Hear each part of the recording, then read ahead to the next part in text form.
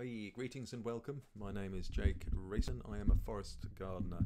No, I am a food, wildlife, and food forest garden designer. That's my new title. Uh, this is tonight's uh, beginners work forest garden workshop. I will be starting probably in about one and a half minutes at seven o'clock precisely. But um, in the meantime, I just wanted to get going just to just to check everything's working okay, and and and it is. Oh, you can't see my badge. Uh, I've got Extinction Rebellion badge um, because yeah, we're running out of options on the old um, on the old climate emergency front. I'm afraid to say. So um, yeah, I'm just going to. Uh, if you haven't already, really help me out. Um, if you could subscribe. Nope, subscribe. Is that? Oh, good lord, I don't know which way around it is. That way round my my hands getting mirrored. Um, subscribe to my YouTube account, um, uh, my YouTube channel, NatureWorks. Uh, NatureWorks Garden, youtube.com forward slash NatureWorks Garden, where you are watching this. That'd be fantastic if you could, because the more uh, subscribers I get, then the more prizes that everybody gets, and I get yeah, forest gardening gets more more of a an airing, and this kind of free event gets more of an airing as well. So that'd be fab if you could do that. Uh, and oh, I meant to kind of get to people's names together. But thank you for everyone who signed up. I think we've got about half a dozen, I can't remember, about half a dozen people uh, watching tonight. Um, well, should be watching. If not, then that's where are they? Um, and, and there's the comments on as well. So what I will be doing throughout the th the first half is going to be me talking, and the next half is going to be um, you talking in the Zoom meeting. So you should have your Zoom invites with a password. So sort that out. Um, if you haven't got it, uh, let me know. Let me know. Um, so here we go. I'm kind of typing a message out and it's gone out to YouTube and Twitch. So we should be live streaming there. Fantastic. Right, let's get a move on. I'm going to start from the beginning again. Just one second. I'll go back to the beginning. Greetings and welcome. My name is Jake Rayson. I am a forest gardener and a wildlife food forest garden designer. That's my rather full and lengthy title because I design forest gardens and uh, I call them food forests because it's easier sometimes, and also wildlife gardens because forest gardens are by design wildlife gardens. So this is uh, the workshop is in two parts. So the first hour is me talking about forest gardens, and it's an introduction, so this is for beginners to forest gardening. And the second part, from about eight o'clock onwards, is a Zoom meeting. So there might be a little break in between it when I get myself a cup of tea. You should have the invite for the Zoom meeting. Should be a link and a password. And uh, yep, so if you haven't got that link and password, do let me know. Oh, my levels. I don't know if my levels are enough. How about that? Is that louder? Okay.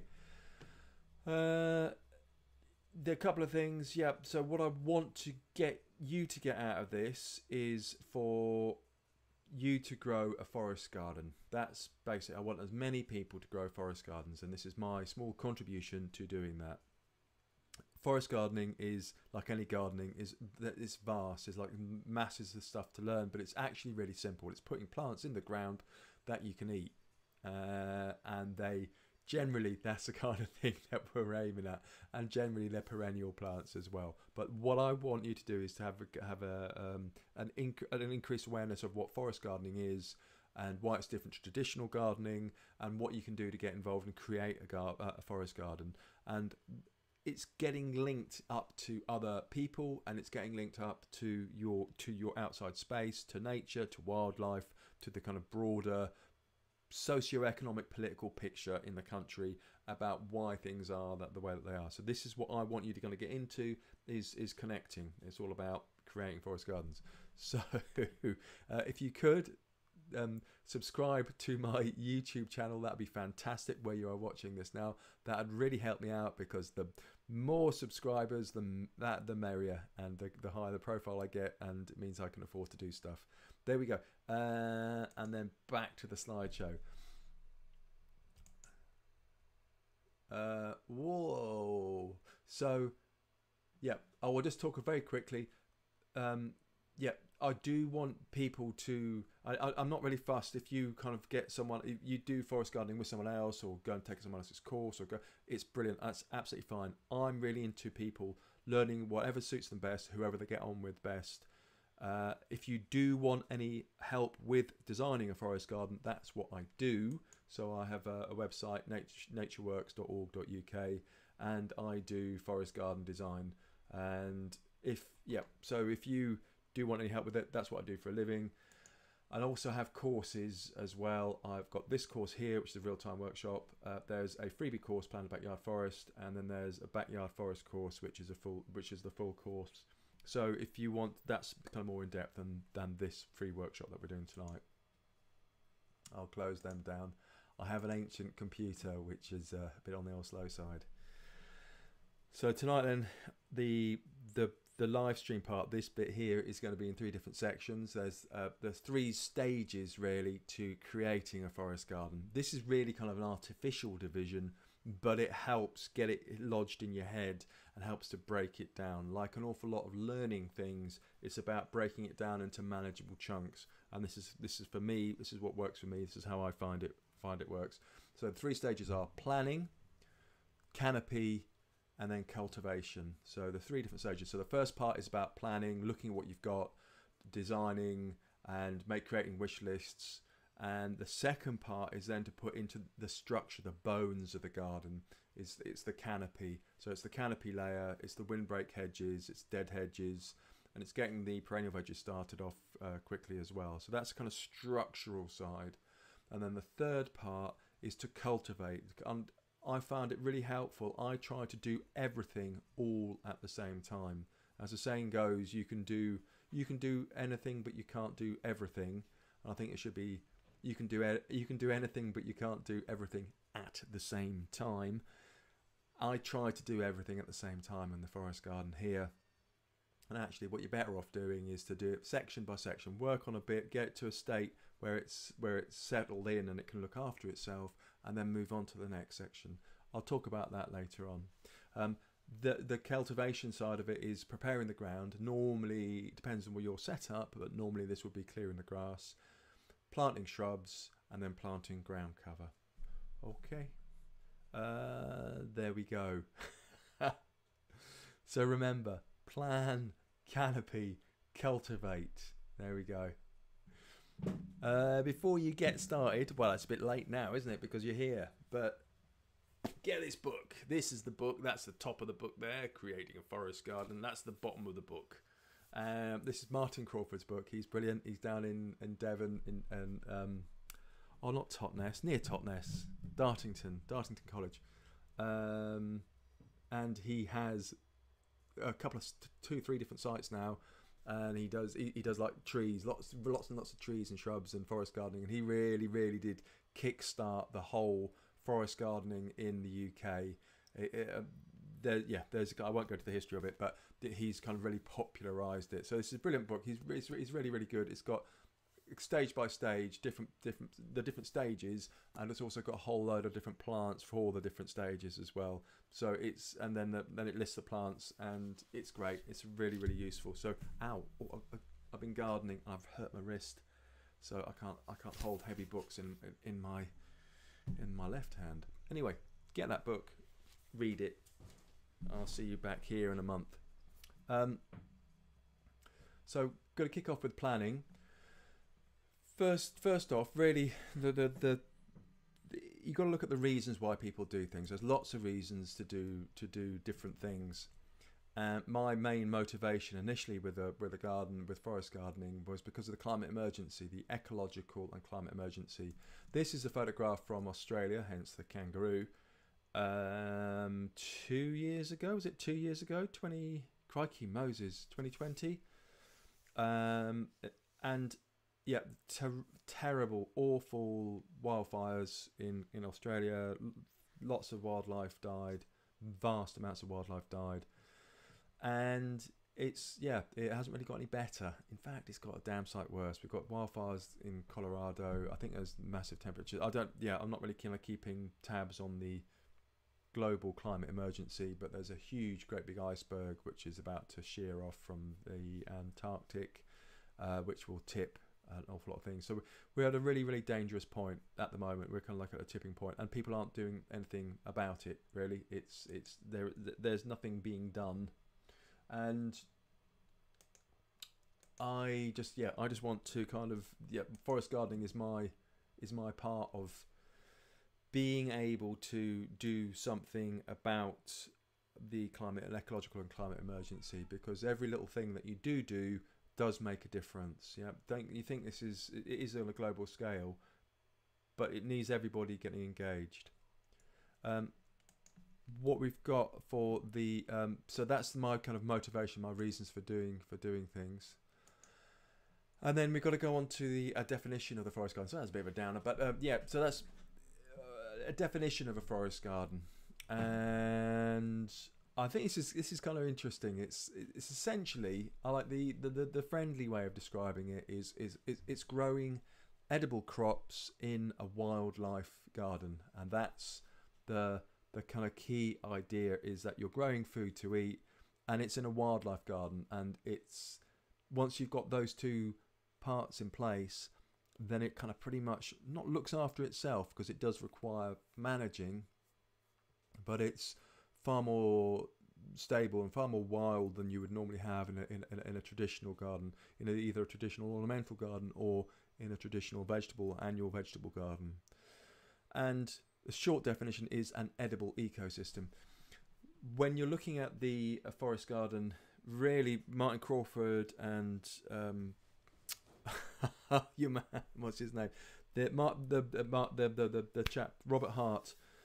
They were Robert Hart's like the pioneer of forest gardening in in in, in the UK. Uh, had a garden in Shropshire, uh, Much Wenlock, I think it was, and they're designing a garden and it's for cool temperate climate which is what the UK has it's a cool temperate climate but it would be different. Edible ecosystems look different in different parts of the world. So, a forest garden, what I love about the flexibility of this definition of an edible ecosystem is it kind of depends on what part of the world you're in, and it depends upon the yeah your your location, your climate, your weather, your yeah your the local flora and fauna. So it's, it's it's kind of really interesting that it's it's a very flexible kind of definition.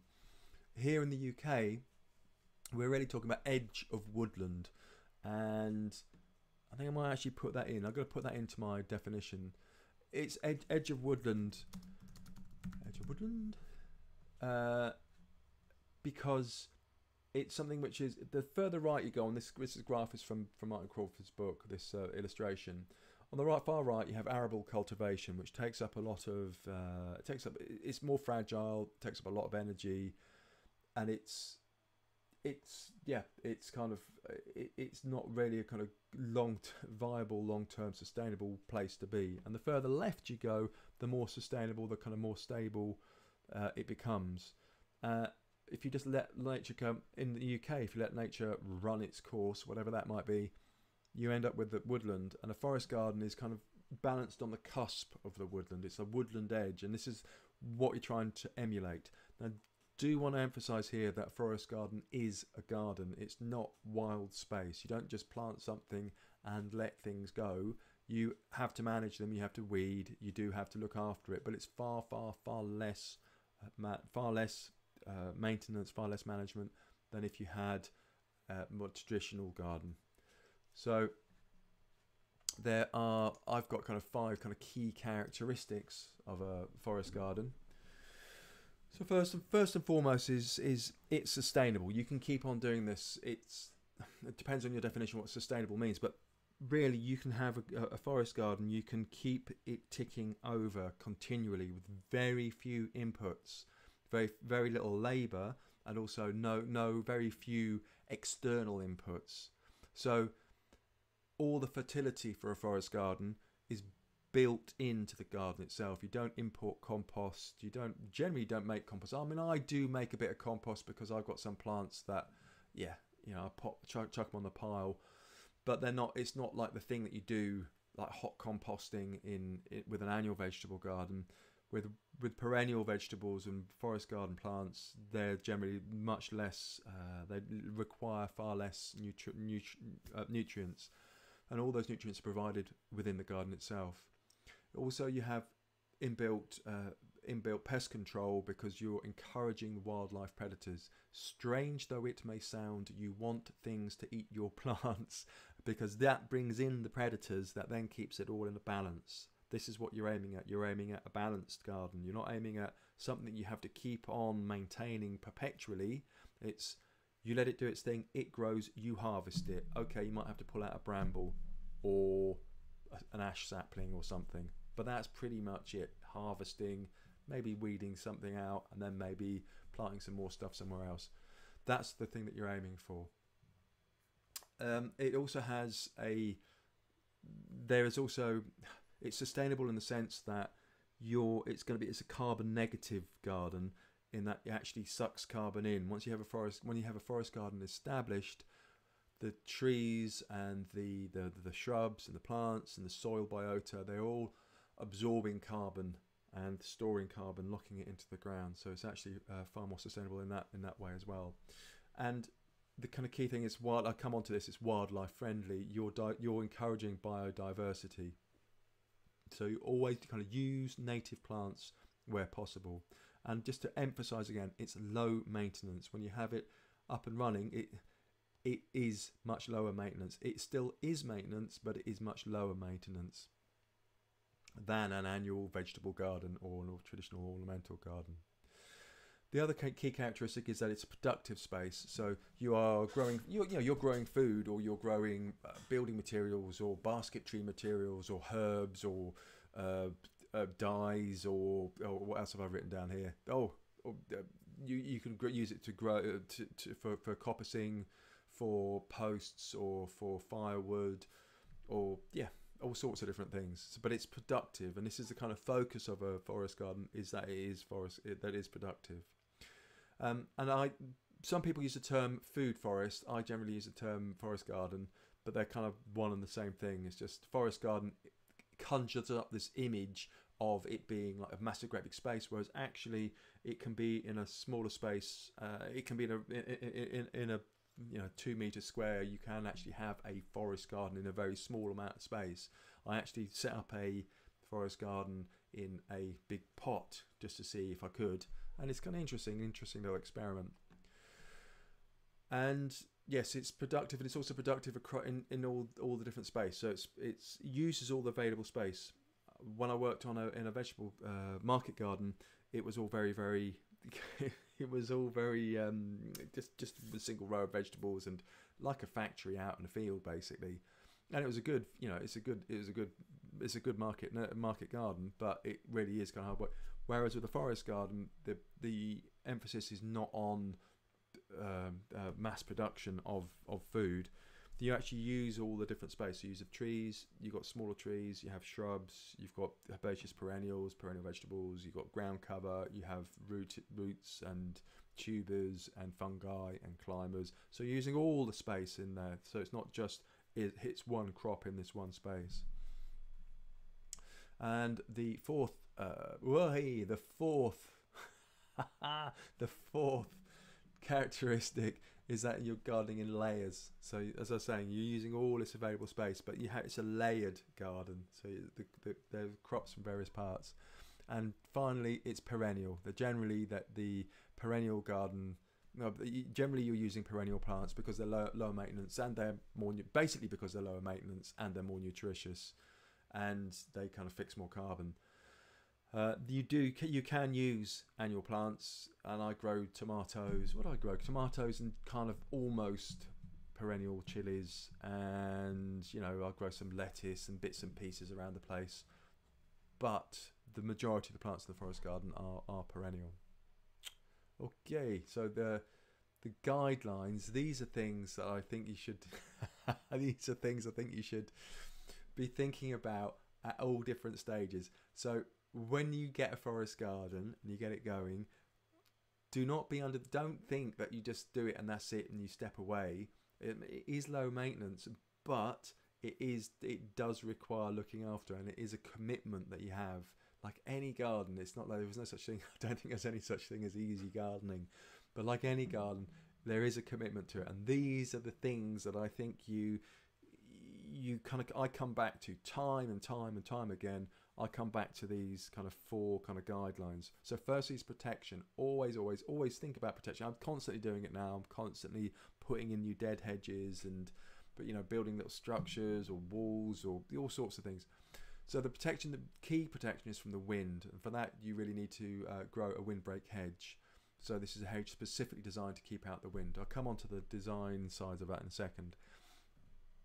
Whilst the windbreak hedge is getting established, you can use dead hedges, my favourite, nurse tree or dead hedge. A nurse tree is just a small shrub that you put in front of the tree that you want to protect, and then you'll take that shrub down when it gets too big, or when the tree is big enough to look after itself. And a dead hedge is four posts in the ground, and you put in um, brash, old branches and twigs and stuff, and that provides temporary protection until the windbreak hedge gets established.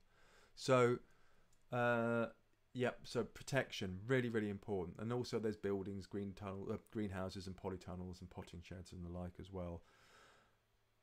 Um, the other thing, the other guideline is spacing. This is apart from windbreaks, windbreaks, spacing, getting the spacing right for the trees. You plant for final size. This is really really important principle you plant for the final size because you want to reduce the amount of maintenance. You, if you want a three meter, two meter high hedge, don't plant a load of beech.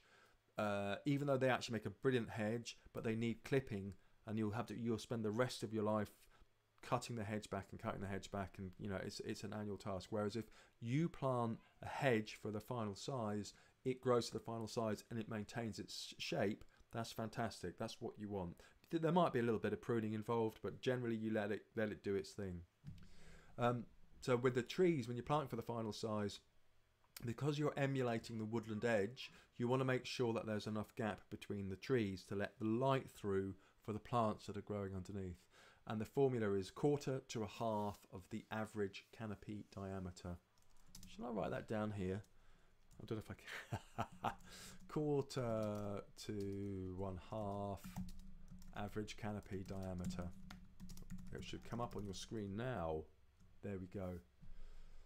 Um, and that's the spacing that you want between the between the trees. So you work out the average canopy diameter and a quarter to half the spacing. It depends if you're on a slope or if you've got space underneath a tree where you've taken the branches up or something. But generally, that's a, that's a good rule of thumb. Third thing you want is um, ground cover. So always, always, always keep the ground covered. Uh, and what you what you will find, and it depends upon whereabouts in the forest garden you're you're doing it. I'm ex- you will find that some places you don't need ground cover. For example, I've got a Jerusalem artichoke, which is a big old tall tuber, Helianthus tuberosum, big, um, big tubers, and they just set up a load of just grow like crazy and they'll just swamp out. Even though they're herbaceous perennials, that means they die back every every year. All the foliage dies back. Even though they do that, they still manage to pretty much kill off absolutely pretty much everything. You don't really need a ground cover with them. And the same with I've got Turkish rocket, the um, Bunias orientalis, uh, and this is sim- similar kind of thing. Whereas other plants, I've got some alliums. Um, I've got what have I got? There's a perennial leek, and I've got some elephant garlic and I'm growing. I'm experimenting with other ground cover for for those for those plants because they do they will get swamped. I mean, I'm getting some creeping buttercup coming in. So you don't always need ground cover, but you generally it's, it's something that, that is a kind of key characteristic that you always keep the ground covered, whether it's with uh, the perennial vegetables themselves or whether it's with specific ground cover plants that you have in. And then finally, nutrients. You've got to think about the nutrients that in the in the forest garden. Make a nutrient budget. This doesn't have to be that accurate, but it does have to be thought about so you get roughly the right amount of nutrients going in. And you have nitrogen uh, plant nitrogen providing plants, which will be a whole range of different plants. Alders, members of the pea family generally, so clovers and uh, uh, Siberian pea tree or broom or all, all sorts of different things or alders are another uh, nitrogen fixing. They're autumn olive, sea buckthorn, and they're all providing nitrogen. And the other nutrient is potassium. Uh, so nitrogen is generally for is for plant growth, is for the green growth, and potassium is for, for the flowering and the, for the fruiting bodies. So this is yeah, this is you want to make sure you've got enough of these in the soil, particularly if you have heavy cropping plants. So you need to create a nutrient budget. That it's in Martin Crawford's book about how to create a nutrient budget as well. So there you go. That's the introduction to forest gardening, and now we're going to get on to making a plan. Now I did spend quite a bit of time on this before, but I'm not going to today.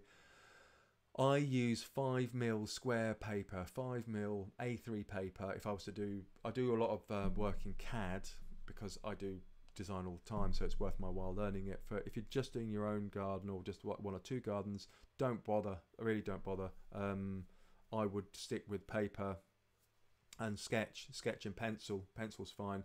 Getting the scale is the important thing, so that you know when you want to put in a tree, which is um, I don't know, like whoopsie, you want to put a tree which is oh, come here. Ah. Are you going to zoom in for me? You want to put in a tree that is four meters diameter, like this one here. Then you know on a piece of paper how many squares that's going to be. So you need to work out your scale. That's really, really important. But you can do it with a piece of, uh, with, I'll do the outline in pen and then I'd sketch in my plants in pencil and then you can try out different plants in different positions and rub them out and try them out somewhere else. So, and that's particularly easy. I mean, you know, yeah, there's various things you can do. If you do want, I, I do have a forest garden uh, plan, a backyard forest course. So if you're interested in how to create a plan, do have do have a look there for, for creating the the the yeah for creating the the, the, the map. What do I call it? I call it a map. Um, yes. So key thing really that is is yeah. So I just want to kind of go back actually.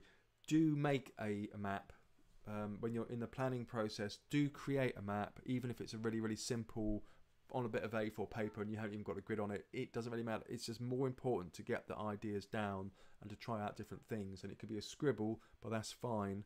Uh, just so long as you're aware of the trees that you want in different places, because then this just get, gets you thinking rather than just don't just put trees in the ground because if you don't know the diameter they are, you don't know if they've got enough space, you don't know.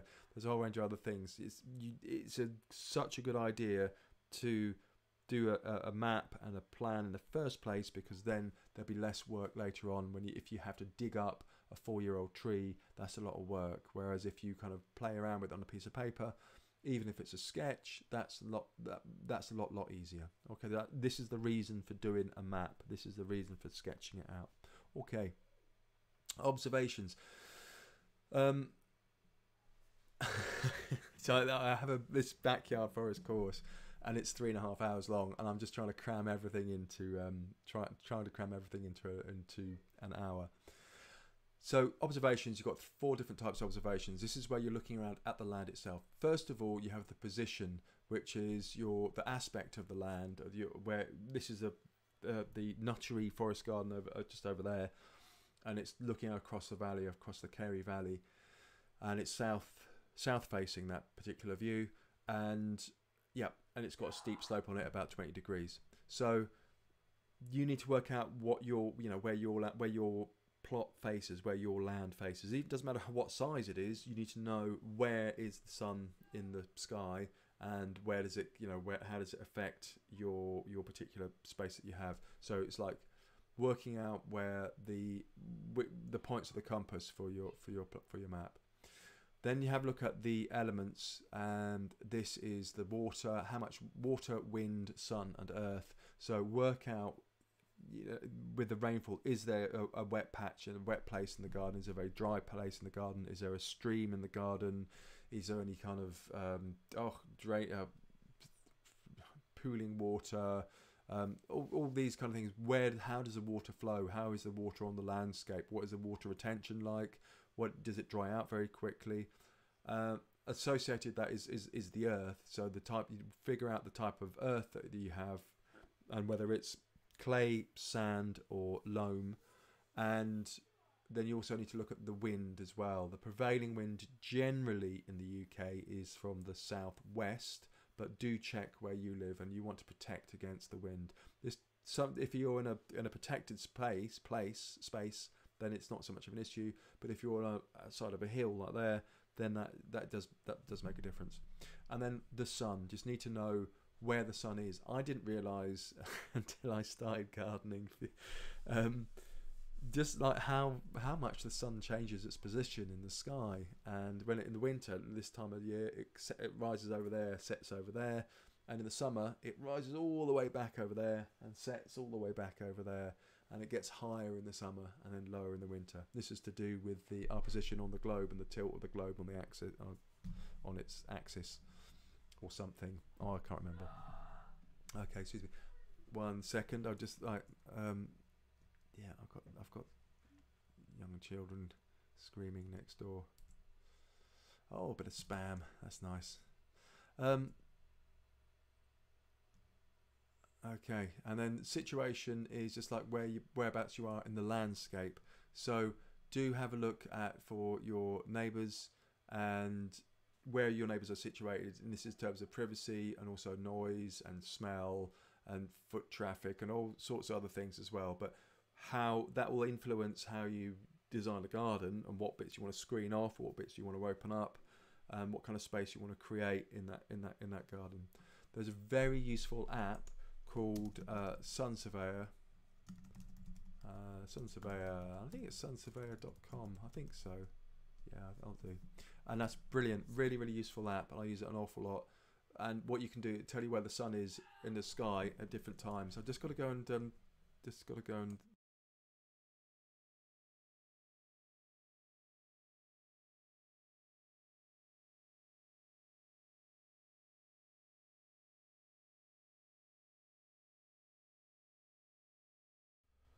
Sorry about that. Just had to go and shout at the children. Um, okay, and so that's a really, really useful app to have, sunsurveyor.com. And you get it on Android, and you get it on iPhone as well. And it'll tell you the position of the sun throughout uh, all different times of the year. So you can see winter time where the sun will be, the height of summer where it will be, the equinox where where will the sun be. And this can allow you to plan the height of uh, windbreaks and the height of trees as well. So and see how much light will get into certain parts of the garden. So really, really, really, really useful. Okay, and then that will do. That's oopsie, I clicked on the wrong screen. So the next bit then, whoa, the next bit is is wish lists. I've got three. I got I create a wish list. Um, it's a shame because I haven't really got that. I haven't got that much time but the kind of wish list there's the firstly it, the different yeah I'd create different wish lists. So I'd create a, like a general purpose wish list a plant and a plant wish list and then a picture wish list. So I'm to make a note of that as well. Um, oopsie. So first of all general wish list. I'm to make a note so, so I'm just lagging a little bit. Um, a general wish list is for uh, the different features in your garden. I always kind of start off because you're designing gardens with wildlife in mind because you want to create an edible ecosystem, you want a balanced ecosystem in the garden. Always design with wildlife first and foremost in your in, in, in your in your head. Um, so you're designing habitat and you're designing food and you're designing shelter and you're designing water food uh, uh, water source um, ponds are always fantastic as well, and for they kind of cover an awful lot of bases. Uh, and then think about uh, the nutrients. Always think about the nutrient budget that you have, and think about seating. I've got a phrase which is uh, coffee, coffee and cocktails. So whereabouts would whereabouts in your garden would you have a coffee which gets the morning sun, and whereabouts in the in your garden would you have a cocktail? Uh, only you catch the evening sun. So these are two different places, and think about putting seating there if they're in, within easy reach of the house. It just gets you thinking about the space and how you can use that space. And then structures. What kind of structures would you like? Sheds, polytunnel, greenhouse, potting shed, uh, water water butt from the from the from the roof, rainwater harvesting. Uh, yeah, all all sorts of different things. Think about what you want. I'm just put everything down, and you can always take things away. For the plants, uh, for the plant wish list, I would uh, use a website called Plants for a Future. Brilliant, brilliant website. Uh, has a whole lot of different plants on it. Gives you the size, the height, the diameter, the uses, flowering times, all sorts of different stuff. So go and choose a list of plants that you would like and just again put everything down because you can always take things away later on. And then finally, uh, picture uh, Pinterest. I use Pinterest a lot for for gathering pictures. Um, yeah, it's kind of handy. It's handy to be able to do that to have a space, a place where you can just jot down a load of pictures. And then what I do do is, oh, you can't see, but I've got a lot of uh, photographs and printouts of postcards and all and designs and sketches all over the walls. Things that I find inspirational, um, and do the same thing for the kind of plants that you like and the uh, the features that you like as well. Put them, put them, just print them out and put them up. Phew, so that's your planning all done and dusted. And this process, the planning process, can take you know you can take it. It can take a it can take a, a while. Take your time with it. Don't feel you have to get everything done in in, in a matter of days. Um, and then design. Now, this is why this is why you design stuff. This is why I say put the right, you know, put the right tree in the right place with the right spacing because you don't want to end up with a giant sequoia at the back of your back door. So purposefully put things in the right place, and figuring out the right place is always a uh, always a bit difficult. And I was saying before, design on paper. This is a friend's map. He's actually cut out little circles of, for trees and things, uh, which is which is great. So another great thing about having a paper map is that you can then start to add the observations to the map and also you can add your wish list. So you can say oh polytunnel where should we put the polytunnel? What size should it be? If you ever do have a polytunnel by the way uh, orientate orient it north to south because you get more equal sun on all sides of it. If you rather if you orientate it east to west you get uneven amounts of sun on the on, on the uh, polytunnel on the different sides. Um, yeah so how big should the polytunnel be? Where could it go? Easy access to the house. I always kind of work from the center from that from the house itself. And then use circles for trees. Or you can use a pencil and then I, I think probably pencil would be just would be just as good in some respects. Yeah try try it out. And then the design order. Um, I think it's like really kind of important uh, you got you got different you got different plants to go in. You have different dif- different trees and things that you like to put in. But I kind of more and more of the the kind of idea that paths are really really useful ways to access different places and to divide up different areas and different places. So there's like a, a I went into a park today, took the dog out, and uh, ended up in a park in in town, and it's got a path that doesn't go anywhere. it does a loop in the middle of the grass and it doesn't go to the river and it doesn't go to the river that way and it's just it's a it's pointless. It's a really pointless path. So you have to go all the way around and then cut across to the to the river. Like have a path that goes somewhere. Uh, and that somewhere could be somewhere that you haven't designed yet. So it could be a seating area that you haven't designed but a path goes somewhere and it defines the different areas. So i think paths are actually really really useful part of this kind of process. I mean, I've got design I'm doing at the moment for a client down in Surrey, and it's going to be really interesting actually how to how to divide up the different space and to divide up the divide the garden up, and what the focus is going to be in each, in each space and what the trees are going to be. So, but I think paths really are the kind of way to think about going from one place to another and then having a like this is where you're going. You've got to go and sit down or you're going to go to the polytunnel or you're going to the pond or you're going to the exit of the far end of the garden or you know but it, it links stuff together. So it's a really nice really nice way to do it.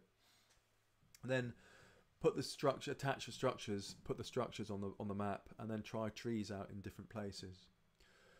So there we go. We how are we doing on time? 40 minutes. Cool. So I'll be going for another 20 minutes. Have a little breather for a second, and I'll just check to see if I have any uh, comments through. Oh, I've got raw tech for go. I've got spam, spam coming in in the comments. But if you do, if there is anybody watching who would like to say anything, now is the time. There we go. Okay, onto the canopy uh, layer. So, and I say canopy layer in a kind of broad sense. Canopy is in trees, but also it's more like the structural side. Maybe I'll change the title of it. Canopy to structural. Oh, I'll write that down. canopy to structure. So there is uh, the most, as I was saying before, in the design guidelines, really, really important thing, look at protection and first and foremost, look at windbreaks, creating windbreaks. If you have an exposed site at all, you need to have a windbreak in there to protect the plants because the plants will grow far more healthily, far more quickly, and get established far more quickly if they have protection there. So ideally, you want to have a living windbreak hedge because they also can provide crops. So this is a Rosa rugosa, Japanese rose um, hedge at Martin, one of Martin Crawford's sites down in Devon, and it provides habitat. It's thorny. It provides roses and pollen and and nectar, and it provides hips, which are edible. Um, so yeah, so it's doing more than yeah, it's doing more than one thing. Uh, but whilst it gets established, think about setting up a dead hedge. So a dead hedge is a um, dead hedges are brilliant as well. So a dead hedge is a stat is a a po- some posts with filled with old bits of wood, old branches and brash bits of stuff that you cut off, hedge trimmings or old brambles, all sorts of things. And I I just find it really really um, I find it really useful to have uh, dead hedges about the place because they're a good place to put all the bits and all the trash that you have in the garden, which previously I used to burn, but now I just fill up my dead hedges and they provide protection whilst the living windbreak hedge gets established. And then a nursery, as I said before, a nursery is a small, like a small shrub that you can plant in front of uh, a tree, a, a, a, specimen tree, like a fruit tree that you want to grow, that you want to protect. Uh, what I found here in West Wales, the one of the best plants is uh, Scotch broom because it's uh, it's it's easy to manage and it's easy to pull up when you don't want it as well. And then you have polytunnels as well uh, as uh, polytunnels actually act as a windbreak, but for obviously for plants within the polytunnel. Um, okay, when you're designing your, I'm going to take off polytunnel, page 17. Um, when you're designing your windbreaks, the key measurement for that is to think of, it's the height protects eight times the length. That's the key kind of measurement. So if you have a two meter high uh, windbreak, that will protect for 16 meters. So if you have a 32 meter uh, wide garden, then you need a four meter hedge. But what you can do, you can actually have two rows of one. You can have you can you can have a sequence of uh, windbreak hedges. It doesn't have to be four meters high and then nothing all forest garden and then the other windbreak you can actually have one two meter windbreak and then another two meter windbreak in the middle of the garden and then another two meter windbreak on the other side and that'll provide protection across across the whole of the garden uh, so it, but it really depends upon the situation uh, well I'll just come on to it in a second and if if you have a very windy site then double the thickness uh, have a double thickness windbreak hedge if you can afford the space. It really, really is worth it. It will make for everything else far more productive and it doesn't take up that much extra space. So it's like a zig, you plant a zigzag. And the density of the windbreak that you're planting, really, it depends. Um, I'm planting half a meter to one meter, depending upon how quickly the plants grow and how much, how quickly you can get the space, the how quickly the space will fill up between the between the windbreak hedge plants. Um, the Key thing though is the aspect dictates the height. So your height of your windbreak hedge is determined by which direction it's facing. So taller hedges to the north, um, to the north side, so they can be they will shade out your neighbour, but as tall as can as can be allowed, and and the taller hedges also to the east. Sun um, sunlight from the west is generally more valuable than sunlight from the east and that's because the in the in sunlight from the west, the plants are the air is being warmed up by the sun, and the plants plants will photosynthesize more readily with warmer air because it's been warmed up all day. So you the, you get more photosynthesis with western sunlight than you will with eastern sunlight. So you can have a taller windbreaks on the east, shorter on the west, and then the shortest of all in the south. So like you you getting the full sun there. This isn't to say don't have a windbreak on the south side, but think about having a low windbreak and then maybe another windbreak further back. Uh, so again, this is a screenshot from the Sun Surveyor app, really really useful, and you can see where the sun is at what time of year. And yes, check the prevailing wind. Um, when you have a windbreak, this is a uh, staggered gap. Apparently, uh, the vertical profile is better for protection um, for a windbreak, so it's better to have that with the wind and it comes, it goes straight up, rather than having a, a, a, a gradated kind of a gradient on the on the on the windbreak. That doesn't work as well, apparently. So vertical profile is better for protection, but it might not sit so well in the landscape. Um, I must get like a sketches. I'm just going to write this down as well. Canopy to structure. Um, add sketches windbreak profile.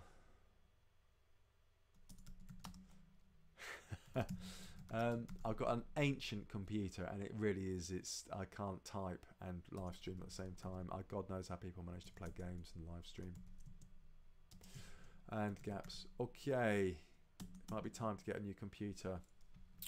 Um, so yeah, you can have a baffle island gap, whereas you have a gap. I'll, I'll, add, I'll add some pictures to the to the next next month's. You have a gap, and then you have another a, a little mini hedge on the other side. That's a, like an island gap. This is a staggered gap, and you can have an angle gap as well, where you, go through. That there's actually a uh, if it's a thick hedge, you can cut an entrance through at an angle. And then perennial vegetables, and this kind of is funny. Perennial vegetables is um, putting into. I, I will change the canopy to structure. Um, perennial vegetables. Why are they in the canopy? Because I think it takes a while. It, perennial vegetables are the most immediately productive kind of plants that you can have in a forest garden. And yeah, what is a perennial vegetable really? But but they they they're gonna get cracking. So you've got perennial kale, you have oh Jerusalem artichoke or perennial leeks or perennial potato onions or you know a whole range of different perennial vegetables. But they do take a while to get established. So I think it's really really useful to set up a perennial veg area, which is one of the first areas that you do, and get the perennial veg in because they will take a while. You know, I bought a dozen potato onions from Alison at Backyard Larder and it's taken three years to get like a bed full of potato onions. So I kind of get started first of all with that. With the pars in a perennial in a with a perennial veg, make sure you have access. I have beds. It was an annual vegetable uh, set of six annual vegetable beds, and I had the beds 1.5 meters apart. 1.5 meters wide and that's too wide. You really to be honest you get away with one meter. One meter wide bed is plenty plenty enough. So you've got access from both sides. And make sure you get decent paths in there. I'm using i'm transitioning to using uh, wood chip paths around the beds because it's it's easy to maintain. It's cheap to fill up. I fill it up every year or so and I maintain it with a hoe just to get rid of the weeds and put signage up everywhere as well so people know what is growing where so when people say I want to get, I want to have oh, salad leaves or salad plants or something. You can direct people who don't know about perennial vegetables. It helps with that, and get it close to the kitchen and and pay it, pay perennial veg, pay them attention. You know, do don't just ignore them. Otherwise, other things will grow. Speaking from bitter experience, here's some perennial vegetable links.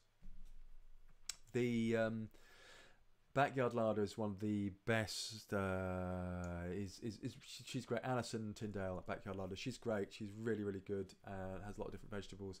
Mandy Barber, Incredible Vegetables, um, is brilliant as well. Um, she was on Gardeners' World actually a couple of three four months ago. Stephen Barstow at Edimentals uh, is brilliant. Loads and loads of information. He's written a book about it. Alan Carter. Oh, that's it. Plums and pig. It's actually Food Forest Garden now. He's changed that. I'll write that down. Hold on foodforest.garden, Alan Carter. He's he's great as well. He has lots of experience of actually growing the plants rather than saying, "Oh, try this one," uh, because that's something I saw on the internet. He actually grows them and gives his opinion of them. And he's up in Aberdeen, so it's kind of it's useful to see what works and what doesn't work there. Stephen Barstow is in Norway, so again, really kind of interesting. Um, and then Plants for Future, uh, pfaf.org is really, really good. Hold on, I'm just going to change plums and pig nuts. There we go. Um, and then onto the canopy trees themselves. So get make sure you've got your windbreaks in. Again, get the spacing right, quarter to a half of the average canopy diameter. And you need to make sure you choose the right rootstock. For cultivated fruit trees, uh, cultivated, yeah, cultivated, yeah, cultivated fruit and nut trees, generally they have uh, they are grown on a rootstock, so they are a clone, a cutting that is grafted onto a rootstock, and it's the rootstock which determines the height and the vigor of the tree, and that will give you your final height and the and the diameter as well. And you need to know that so that you get the right tree size tree for that space that you want to put it in. Okay, so choose the right rootstock, and if you're growing any fruit tree nut tree, make sure you have pollinating partners. That some fruit trees will require a uh, another fruit tree that will pl- that will flower at the same time. If you've got apple tree, if you've got space, get a crab apple because that will pollinate for a much longer period and will pollinate all the apples. Uh, but again, it's worth doing some research about it. I won't, haven't really got time for that at the moment. Uh, there is orangepippin.com. It's a really, really good website for looking at pollinating partners. Orangepippin.com. I'm going to write that down here. Pollinating, pollinate partners. And then finally, with your trees, because it's so important to get the right tree in the right place, measure twice, plant once. You've got a map, but the map might not be accurate, or there might be something in the way, or the soil might, not be right. So always measure twice. Always make sure you've got the right space. Measure on the ground to see that you've got the right space for it. Phewy, there we go. On to part three. Uh, oh, not bad, not bad at all. Uh, have I got any more comments? No, no more comments. So this is uh, part three. So plan we've done, canopy we've done, and we're on to the cultivate part of the of the forest garden. So on to cultivation. So cultivation. Let's get this sorted out. Ah, pars. So whenever you're designing garden, as I said before, I'm, I'm a big fan of using pars to define specific areas and it's so much easier to deal with a garden area by area than to go I have to do everything all at the same time, which is what I have suffered from myself in the past. Uh, so now um, I've got all the piles in place and all the areas of that all need kind of rejuvenating. Uh, you do have right, so paths. If you've got a large space, then use grass paths because they're they're cheap, they're hard wearing. Uh, grass grows like crazy. That's the, the the the the benefit of grass, but the the downfall of grass is that it cheaps. It's cheap. It's hard wearing and it grows like buggery. So it's it's kind of like it's good in particular situations, but it will spread and it will kind of take over stuff. So I've been yeah doing an awful lot of cutting the reducing the amount of grass throughout the whole garden bit by bit. I've got a, quite a lot more to do, deturfing, and then around the high um, high volume areas, like this is around the the compost bay, I use wood chip. Um, and rather than using bits of wood, which these are only ever temporary, I've now planted a line of like a boundary plants, like a it's a geranium geranium uh, macrorhizum, and I planted a line of really big sturdy geraniums down the side of the grass path. So they'll shade out the grass so it won't grow in to the wood chip. Um, and I've done the same thing on the other side here by the polytunnel as well.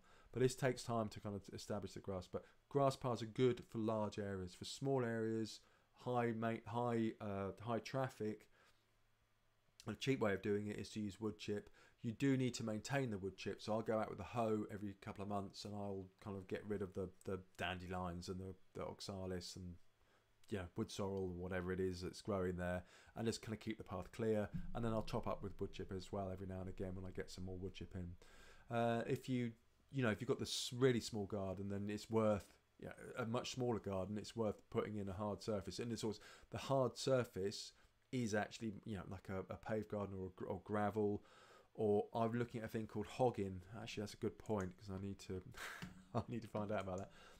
Um, I'm looking at creating uh, a hogging path, uh, which is a clay uh, clay mix. Uh, I'm going to write that down as well. Hogging path. Um, so, but it, a hard surface, uh, pave like paving slabs or gravel it's more expensive, so it's it's harder wearing, so it's better for a smaller space, but it gets really pricey. Like you scale up the garden, it gets really pricey, and they still do need to be maintained as well. So what path you choose depends upon your, you know, depends upon your setup and the site and your size.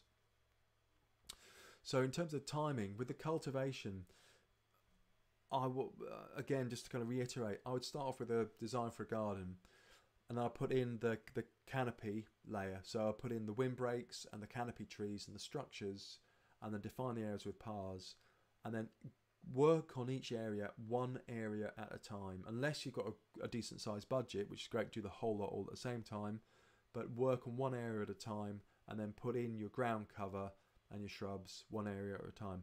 But the reason for this is that it's a lot easier to concentrate your efforts on one specific place and get it get it done and get it planted up and keep it weeded for the first couple of years.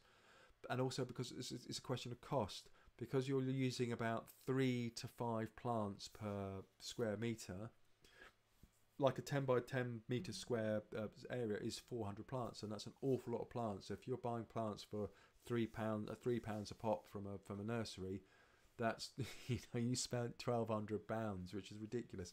So what you can do is if you grow your own ground cover plants then you can uh, do, and you're doing one area at a time you can fill that area up and then work on the next area and that gives you time for the for the ground cover plants to get to, to regrow so you kind of you, you grow your own plants to provide for the different areas, and you don't not doing it all in one go, but you're doing it over a number of years. Yep. So that might well be the best best way of doing it.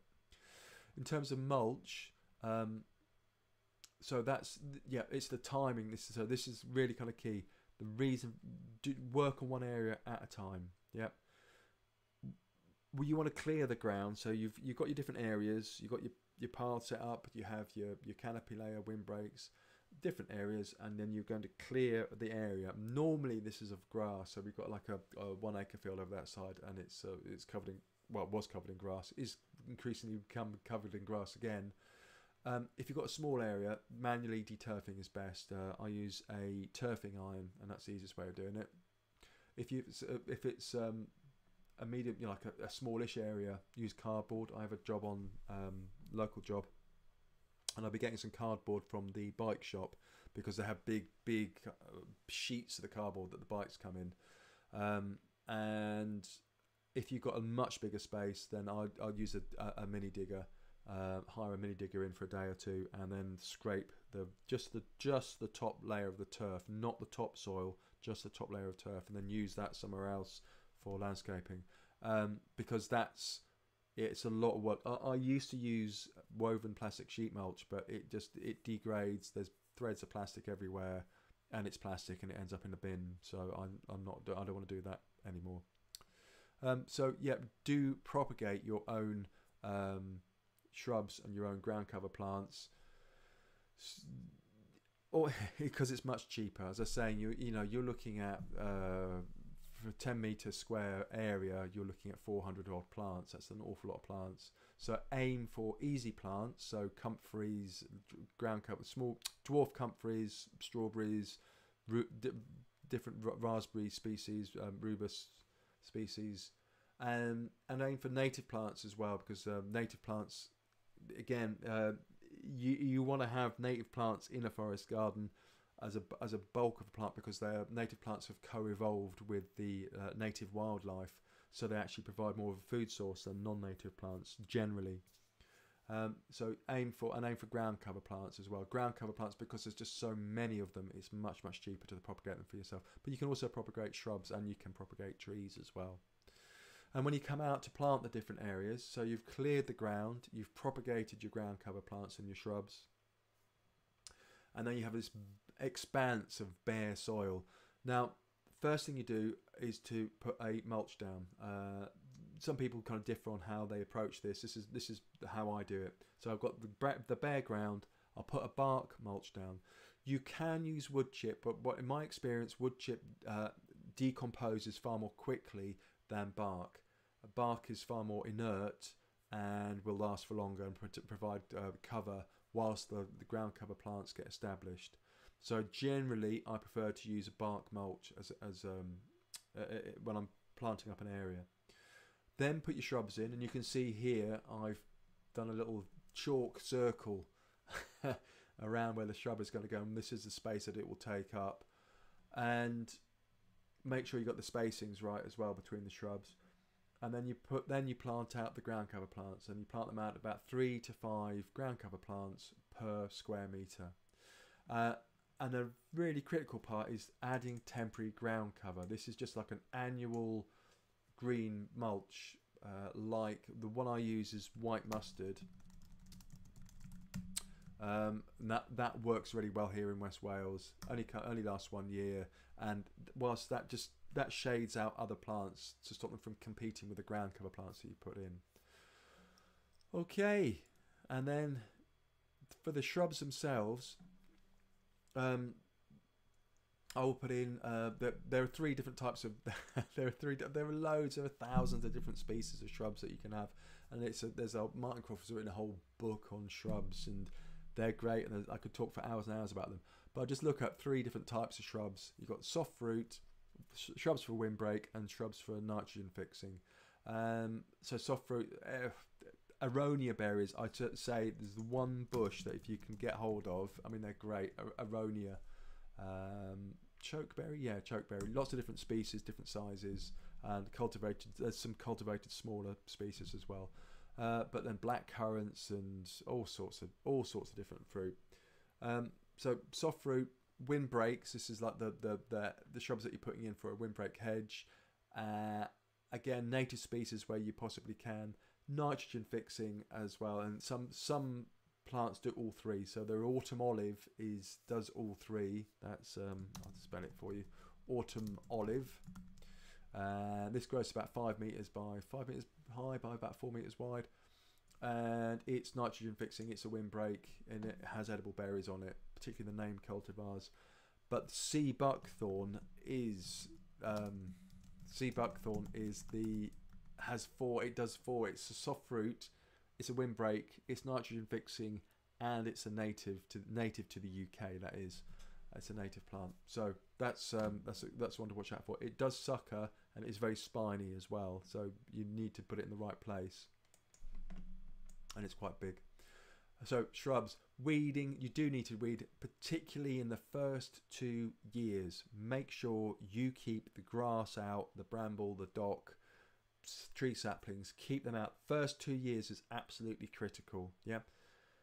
I worked on a job last year and didn't weed it for various reasons. I wasn't around during the summer and it's gone to grass and it's a real, real shame. So much work gone into planting out the ground cover.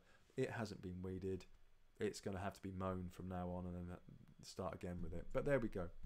If you are weeding, uh, for saplings, grass, bramble, and dock, rip them out, take them out by the roots. Other stuff like, oh, I don't know, uh, plantain or dandelion. I, to be honest, I just leave most of it. Depends where it is. If it's if it's encroaching on something I, I really want, then I'll uh, I might take it out. But you can do what's called scissor weeding, where you just chop off the top of the plant, leave the roots in the ground. Because the more you disturb the ground, the more seeds, the uh, weed seeds will get dispersed, and you're actually better off sometimes just to just to cut it back a little bit. And then a chop and drop mulch. So I always plant a uh, a comfrey.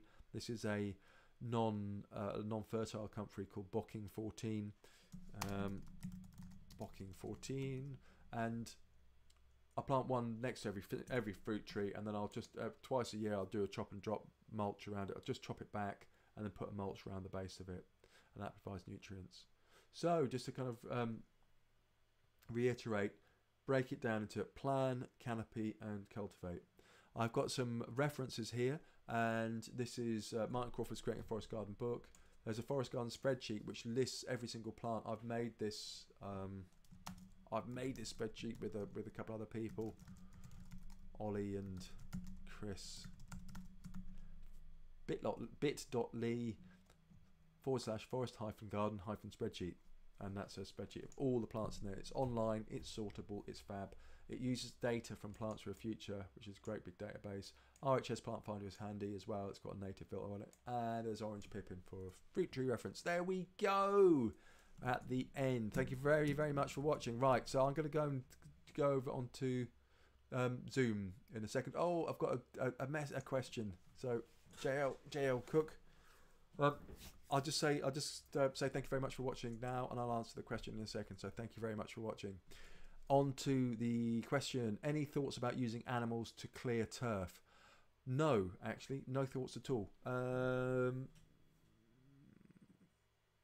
I think the problem is with using animals. That the only kind of time when I've come, only time when I've had animals in that have cleared the turf, possibly pigs. Yeah, I know that I had some friends who had pigs, um, and they they did that. It was a quagmire, and I know pigs are actually very useful for clearing bramble uh, because they will dig up the bramble root, and um, yeah, brambles a pain. Don't yeah, that's a whole other whole other topic.